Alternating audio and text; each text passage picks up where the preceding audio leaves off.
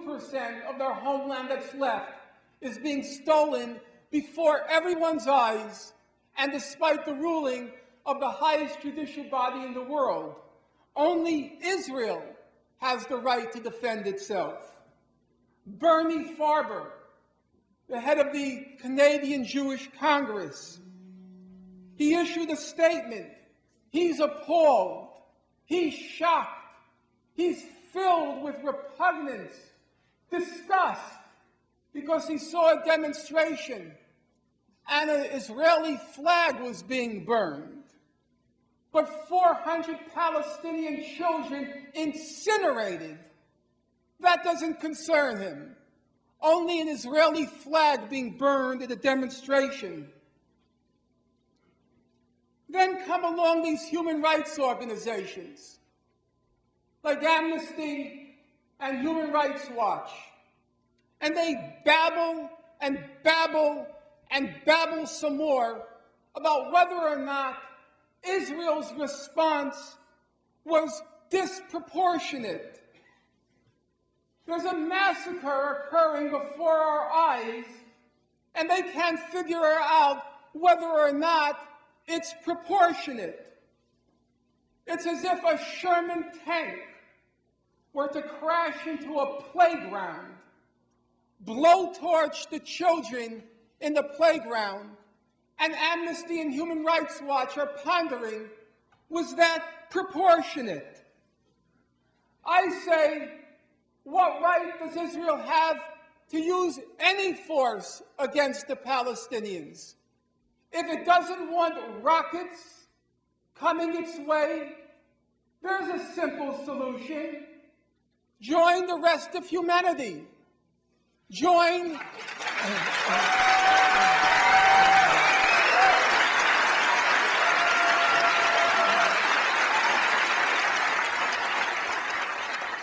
Join the 164 nations in the United Nations General Assembly. Join the International Court of Justice. Join the Arab League. Join the Palestinian Authority, so called authority, and the Hamas, and withdraw from the territories which you are illegally occupying. Then come the Europeans, the British, the French, the Germans, and they all go to Gaza, and they all meet with Mubarak, and they meet with Olmert. And why are they meeting with them? We have to figure out ways to prevent weapons from being smuggled to Hamas. Now, you have to savor that. You really do. Israel has now just committed a massacre in Gaza. Israel has incinerated the people of Gaza. Israel has committed massive war crimes in Gaza. So, what do we have to do? We have to prevent Hamas and the Palestinians from having weapons.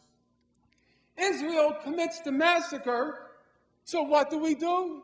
We have to disarm Hamas. Why? Do Palestinians have to be completely disarmed? Were they not satisfied with the killing ratio of 100 to 1? Should the ratio be a 1,000 to 1? Is that why they want the Palestinians to be completely disarmed? That's the sad part.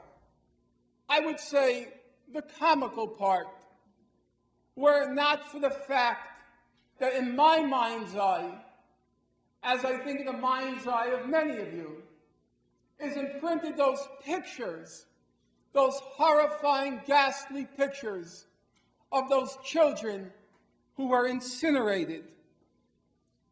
But there's hope, I think. There's grounds for hope. It was alluded to in the remarks, the introductory remarks of one of the uh, people here.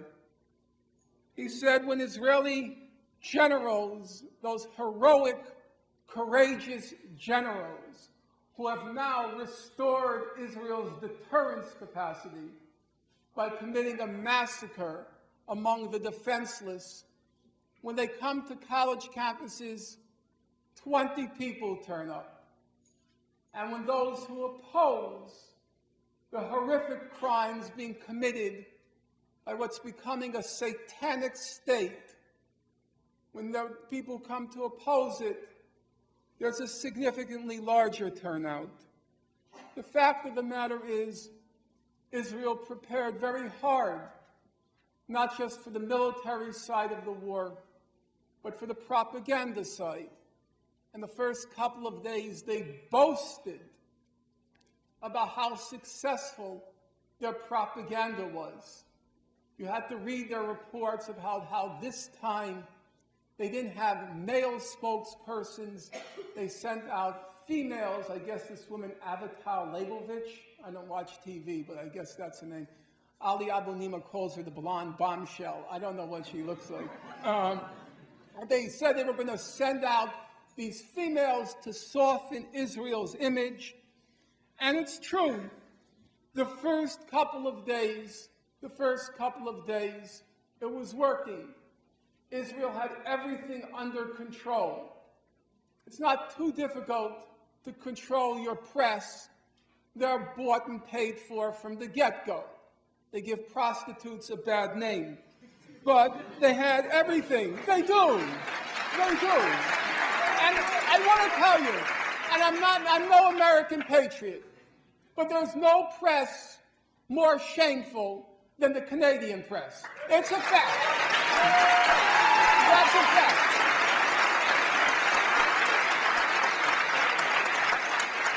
I looked at some of those editorials in your Globe and Mail, and my innards started to writhe. I don't know where these people came from, what planet they jumped, they, they fell off from, what sewer they crawled out of, but really they should go back. There's a serious problem there.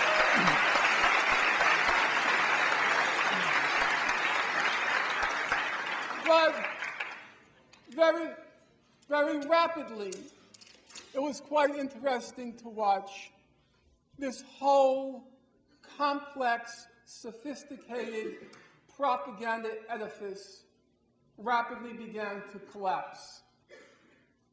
Abraham Lincoln famously said, You can fool some of the people all of the time, all of the people some of the time, but you can't fool all the people all the time.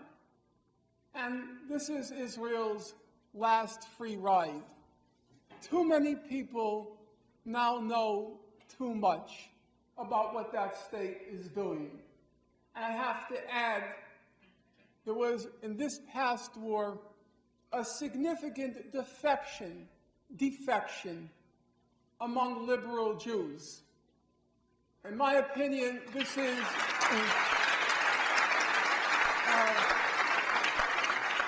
One of the things this massacre will be remembered as, it will be remembered as the last Jewish war.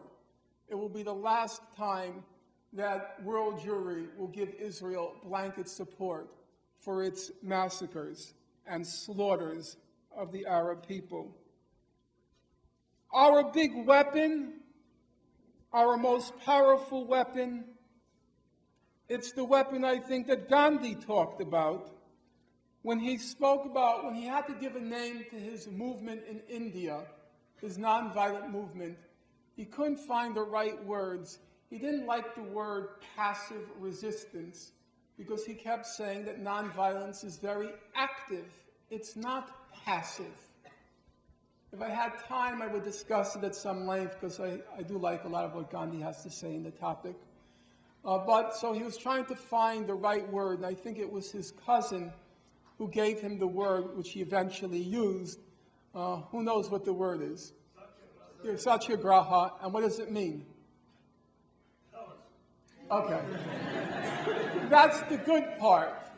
Uh, it means he translated as hold on to the truth. Satyagraha.